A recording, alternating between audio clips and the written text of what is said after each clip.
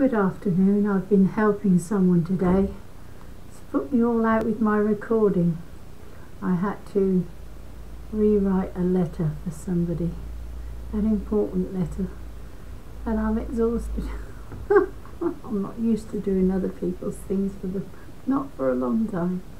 Anyway, I'm going to share with you healing prayers for every day and we are on Saturday the 20th of February, another week, my second daughter's birthday, 27th now.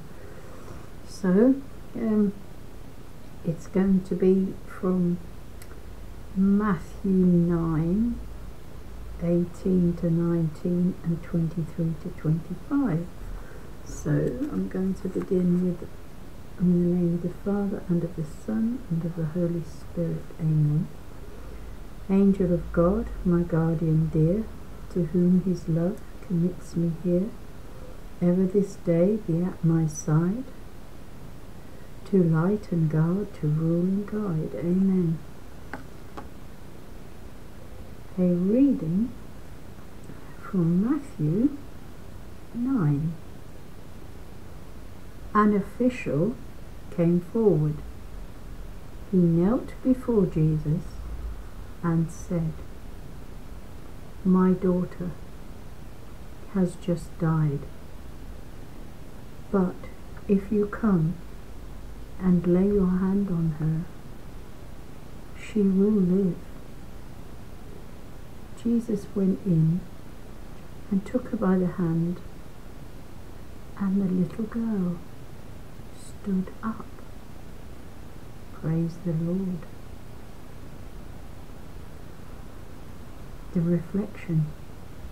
Do you have faith as strong as this, Father, to ask Jesus to perform a miracle in some part of your life? Continue to have faith and miracles will happen in your life. The prayer for today. Yes, Jesus.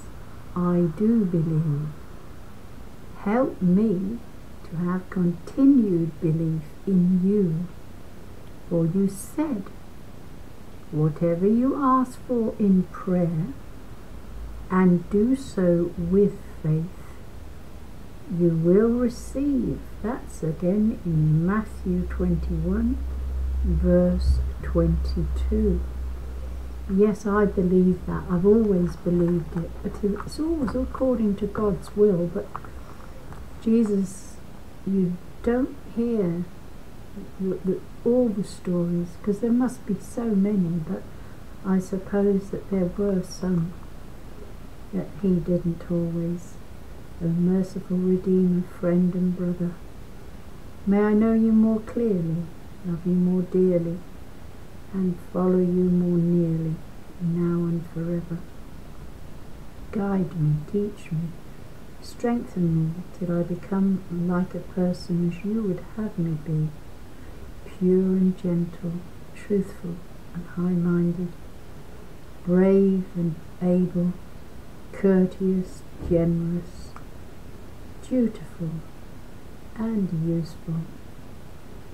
My Lord and my God, take from me all that keeps me from you. My Lord and my God, grant me all that leads me to you. My Lord and my God, take me from myself and give me completely to you. Amen. Thank you for listening. And may God bless and heal you. And I'm sending you God's peace and abundance. Be happy and joyful in the Lord always. God bless the rest of your Saturday, Sabbath day, and tomorrow, Sunday. I think I'm reading in church tomorrow. It's just looking, those buses only one an hour cold. I've already got a chill yesterday. Never mind. God bless you. I'm still alright.